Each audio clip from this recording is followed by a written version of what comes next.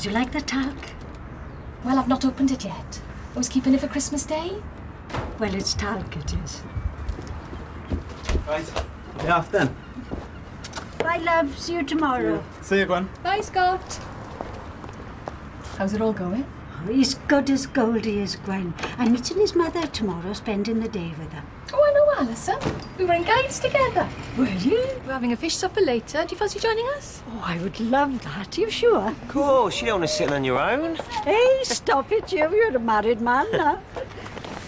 Although, if you are interested in that sort of thing, you know, I'm very open-minded. I'm discreet. Why did I offer to help someone who's owed me six and a half thousand pounds since 1992? But she is paying you back, Dor. Fair play. A pound a week, Gwen. What does she take me for? A fool? I'll be 140 by the time it's repaid. Well, look, now, I'll do the salad then. No, why should you? You're defeating the object. Now just leave it. Let her come up to me, as she undoubtedly will, and say, Oh, Dor, where's the salad? And I'll say, Oh, Fatty, where's my cash? Worst thing that ever happened to me, becoming a mother. We'd never connected. I kept waiting for that mother daughter bond. It never arrived. She was horrible, wasn't she, Gwen? Oh, you're Moira. Yeah. I was in school with her. And I don't like to talk ill of people, but she was a nasty piece of work. She was the bane of my life.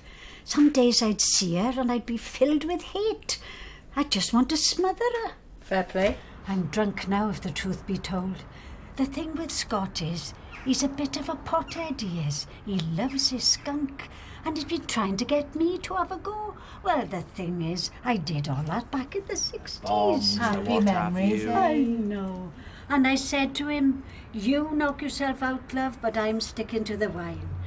Well, that was 10 o'clock this morning, and to tell you the truth, Gwen, I'm absolutely twatted. What in God's name is Jean doing, you Bryn? She just staggered in. I know. I invited her, all right? What, you dickhead?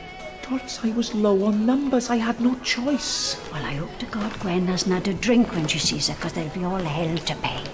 Doris, please don't stress me out. I'm a nervous wreck as it is. Chillax, Bryn, get a beer down you. I'm not going to stir things up. Thanks, Dor. I appreciate it. Jean. And if a ten-ton truck kills the both of us, to die by your side, well, the pleasure, the privilege is mine. Oh, there is a light that never goes out. There's a light and it never goes out. Tell me tomorrow, I'll wait by the window for you.